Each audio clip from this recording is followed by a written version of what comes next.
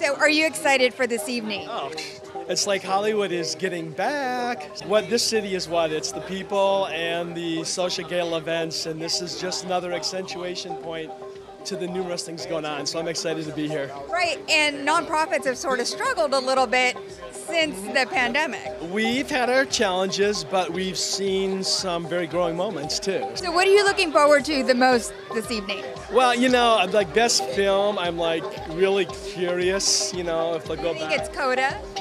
I, you know, I haven't seen Coda yet. I want to see Coda. I saw West Side. I love West Side Story. I mean, it's the filmography. No, there's some good films, and it's like Hollywood's kind of coming back. The big screen, which I love the big screen.